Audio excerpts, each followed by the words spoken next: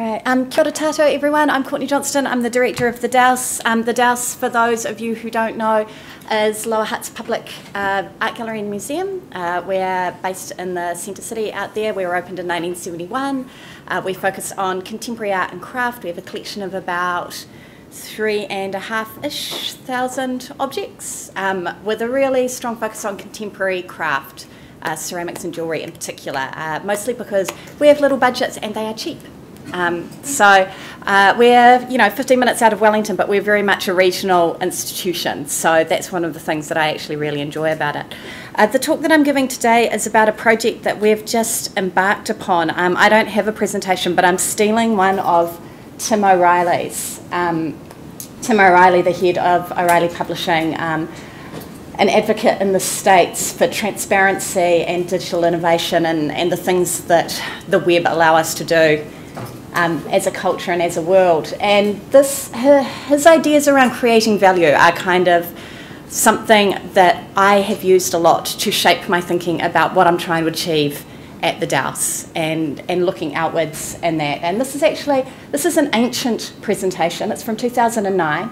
Um, he gave it at the Twitter boot camp back when Twitter was kind of still a bit of an upstart and new and shiny. And here he's talking, um, Anna Dean kind of touched on it yesterday in her social media presentation. He's talking about generosity, I think. He says the secret of social media is that it's not about you, your product, or your story. It's about how you can add value to the communities that happen to include you. Uh, not surprisingly, the more value you create for your community, the more value they will create for you. So that's something I think about all the time at the Dowse. How are we creating value? Who are we creating value for? Who do we who do we work for? And the two groups that we really work for are our ratepayers who fund us and our artists, without whom there is no point for us to exist. Um, so that's that's kind of the biggest context that I'm operating in, this idea of creating value. The next context down um, for this particular project is that some funding became available. So uh, maybe before I went out to the Dowse, I was running a web company called Boost New Media, and before that, I was at National Library. Um, I came from a really, I was a board member of NDF, I came from a really digital background, and I think when I went to the Dowse, everyone expected that the first thing that I would do would be to start a whole bunch of digital initiatives. Um, and I think maybe the only new digital thing that we've done is set up an Instagram account, and I didn't even do that. Um, when I look at our audiences, our collection, our city and our place in the country, digital has actually ended up being quite low on my level of priorities when it comes to diverting an existing operating budget into new projects. So when a new piece of funding came up that allowed me to test some ideas around what I'd like us to do digitally, but also this idea around creating value, I kind of jumped on it. So in 1992, this is a little bit of a uh, lesson in the history of the craft sector. Um, the Craft Council got dissolved, and the Craft Council sat alongside the Arts Council. New Zealand craft scene in the 70s and 80s was incredibly vibrant and innovative and outward focused. Um, potters were over in Japan, and people were being brought over here, and they were doing amazing things, and the Craft Council kind of underpinned all of that. When they got dissolved, it happened in kind of a hurry. Um, a whole bunch of their archives came to the Dowse, and we're still dealing with that legacy because we don't have a librarian. Um, and the kind of the oomph went out of the sector. So a trust was formed, uh, Ngā Taonga Hine Te Iwi Iwi, um, who tried to continue the work of the Craft Council in the terms of building the profile and therefore the market and exhibition opportunities for craft artists. Um, as with many of these organisations, the people who set it up in 1992 was senior in the field at the time, and now they're very senior. Um, so they were looking to wind up the trust and disperse its assets. So they sent out an expression of interest around that. And they had a small number of assets. They had a piece of taonga by uh, Rangi, Rangikipa, which has come into the Dowse collection. Um, they had some filing cabinets full of stuff, which have, I think, gone into the Turnbull, thank God. Um, they had a website that was built in the early 2000s on the back of a major fundraising campaign and hadn't been updated since 2006. And they had this much money.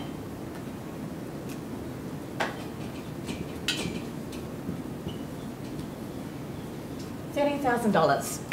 Um, and so I responded to the EOI and I said, uh, don't want the filing cabinets. Um, we're not equipped to deal with those. We'd love to house um, the Rangi Kipa, that makes a lot of sense. and then I said, I know you want your website to be looked after and redeveloped and taken on by someone else, but we're not going to do that. Um, but would you like to give me $13,000 to do something else with entirely? Um, and they were really open minded and receptive to that, and that's how we've ended up launching this summer's Wikipedia project. So the point of the project is to write 100 biographies of craft of New Zealand craft artists and load them onto Wikipedia. Um, the more we explore this, the more that we realise we're kind of going to end up researching and documenting a lot of other things like major exhibitions, major publications, uh, critics and curators who worked in the area. Um, I really didn't. I didn't want to take on their website because I couldn't commit to the ongoing care of it. Uh, we could have spent $13,000 updating it and replenishing the content, but I couldn't commit to the ongoing upkeep. Wikipedia is not only the place where we're horribly underrepresented in terms of our history, but it's also a place where I can, in good conscience, hand over to the community and say, You help us keep this up to date, rather than just creating another problem that would be perpetuating the one that the trust had already found themselves in. Um, $13,000 in the context of what the Dowse spends, that for us is about how much we invest in a major exhibition. So this is actually quite a chunky bit of uh, funding from our perspective. And I've split it up. The pri- uh, I'm going to do this all openly, so we'll be publishing the budget and how we're spending it. Uh, the bulk of it is being used to employ two postgrad students um, or two recent grads who will be doing the research and doing the writing. I've put aside a little bit of money for them to go to conferences and training and present on the project.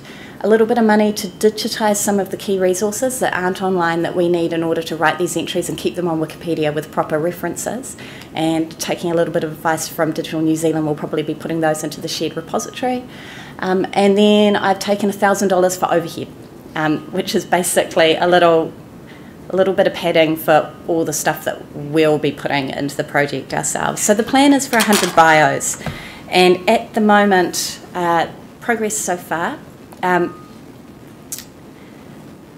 if, if you want to take on like quite a gnarly and weird bit of community management, try to make a list of the 100 most important anythings in an area that people are really, really passionate about. I would recommend that for a, a fun undertaking. So, um, we've actually done quite a good job of that, and it's been it's been a really it's increased my knowledge hugely. Um, so we're there. We've got a, as well as having the trust review that list. We'll also be sending it out to a group of external curators and sharing it in that way. And it's not about saying these people are better than other people. Um, a lot of it is about these people have had long careers, which are documented well, which will lend themselves well to this kind of project. Um, without the documentation, we can't do the project. Um, I've got one intern on board, she started last week, and another person who I'm eyeing up and will talk to when I get back to work tomorrow. And Mackenzie and I, our intern who's on board, came along to Mike and Stuart's workshop on Monday and kind of got the nitty gritty on what this is actually going to be like. I have quite a lot of nervousness around this project and especially launching two people who don't necessarily who aren't existing Wikipedia editors into it because my reading of the Wikipedia culture is that it's kind of horrible. Um, that's one of my major nervousness about this project that um, and I've reflected on this a lot. Inside museums, we're spending so much time at the moment trying to meet our communities on their turf, you know, like to walk across the bridge to them, to not impose our values, but to ask what do you value and how do you like to do things. Um, and my reading of it is that the Wikipedia community does not work like that at all.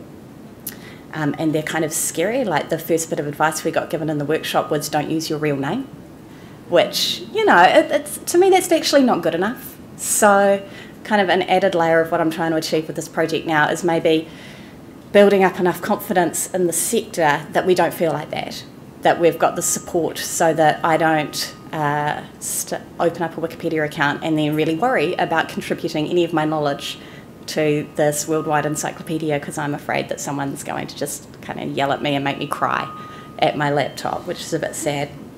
Um, yeah, it's all right. I keep on adding things to it, but for me, the project's all about making making each one of these dollars work, like really, really work. And when you're in a smaller organisation, you really, I think, start thinking about this. So, the value that I'm hoping to create here, and the reason that I have chosen to invest this bit of money in this project and not in digitising our collection, which is not online at the moment. I think we have about 100 items in the NZ Museum's website. So apart from that, we have no collection information online. And it's a big gap, and I think about it a lot, but I've prioritised this instead because I think it'll create value in a bunch of different ways. It's going to raise the profile of craft artists. Um, someone said to me in the workshop, well, why don't you not worry about Wikipedia if they're just, you know, if you're worried that you're going to spend all this time writing these entries and then people are just going to come and delete them and you're not going to have any say, why don't you just start your own website? Um, and I, and I thought, wow, that sounds appealing and easy. And then I thought, no, that's not actually going to achieve it because we need to put the information where the people are. We need to put it where Google is going to return those search results first. So raising the profile of our craft artists and our craft history by filling Wikipedia up with a bunch of information that it's missing. Um, there's nowhere in New Zealand where you can go and study the history of New Zealand craft. You know, you can't go and sign up to an art history course and learn about what's happened in the last 50 years in this area, which is actually really vibrant and interesting.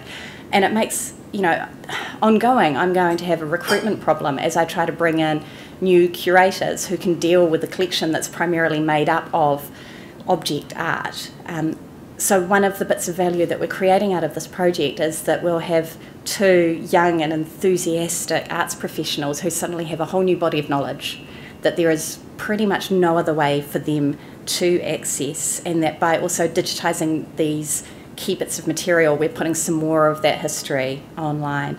Um, we're going to have to talk to all these artists or their estates about the project that we're doing which is a, an opportunity both to reintroduce the Dowse to them if they're artists that we've fallen out of contact with, but also to talk to them about what's happening um, online. I mean, there there are a number of estates we'll be dealing with. There are a number of older artists we'll be dealing with, and then there are a number of people who are fluent in the web.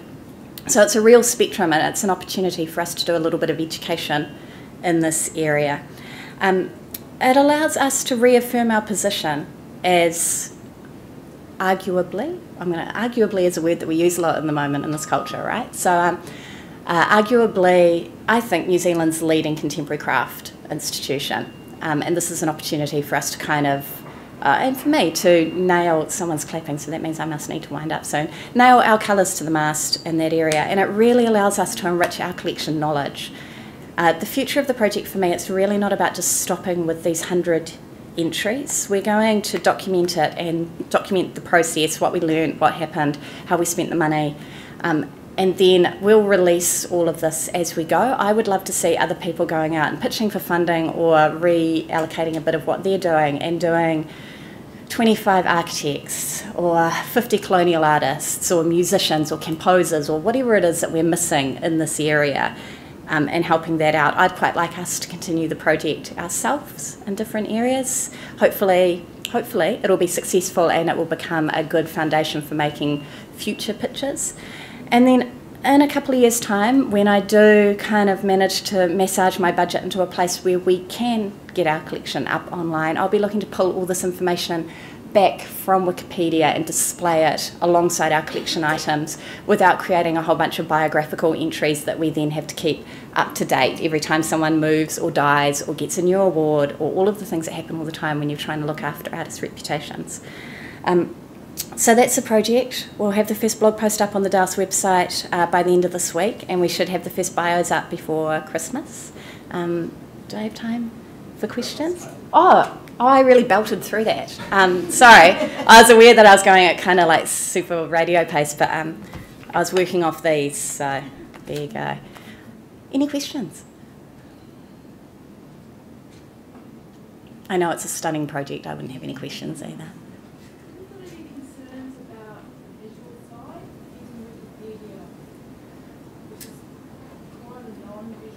Yeah, um, so the question is, do I have any concerns about using um, the visual side? Um, not about, I mean, it's not about necessarily communicating the artworks um, so much as it is putting the information about the artists and their careers online. There is a big stumbling block around the way that Wikipedia treats images, and this is something that I haven't made my mind up about yet. When you load up an image into Wikipedia or Wikipedia Commons, you have to give up everything and as a collecting institution and an institution that works with artists every single day, we work with them around their IP and their copyright. And I actually don't know if I'm comfortable going to an artist and saying, in order to, we'd really love to have images of your work to illustrate this entry, but in order to do that, you have to give up everything. That's it. I, I've, I think that's a big ask, and I think it could potentially be extremely alienating when we go to artists and say, hey, this thing that you don't really know anything about, we want to give them some of your stuff and you're not going to have any say anymore. Um, potentially, I'll just put that into the too hard basket for this iteration and tackle it later on realistically, what I'll do is start with the friendlies, you know, the people who we have existing really good relationships with, who I know use the internet frequently themselves and will be most open to this idea and start start there. I think there is an enormous gap in this culture um, between the knowledge that we have about copyright and about what audiences are trying to do and the knowledge that artists have about their rights and what the opportunities might be. And I don't know quite how we fix that because artists don't do professional development the way that we do. Like once you leave art school, um, you you're doing art. You're not going along to workshops and courses and learning this kind of uh, career stuff. So maybe Bronwyn has some fascinating insights, but I'm not going to dump it on you because that's not fair. Um, that's a long-winded answer to quite a short question, but I hope it kind of gets me to where you were at. Have I spoken to Stuart? Yes, I have spoken extensively to Stuart, and um,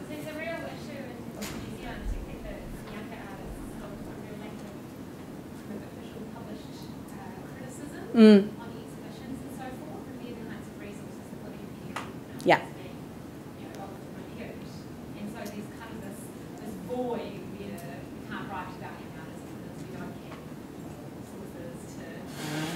Yeah.